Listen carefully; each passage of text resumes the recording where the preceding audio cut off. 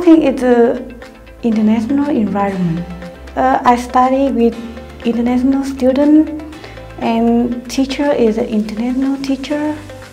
And maybe it, it fun for me to improve English and another language.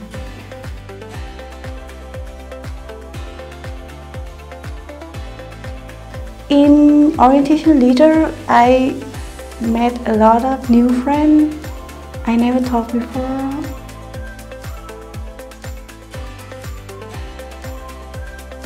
I live in Congreve and actually I really like it because now in Congreve I live in a single room and yeah, very comfortable.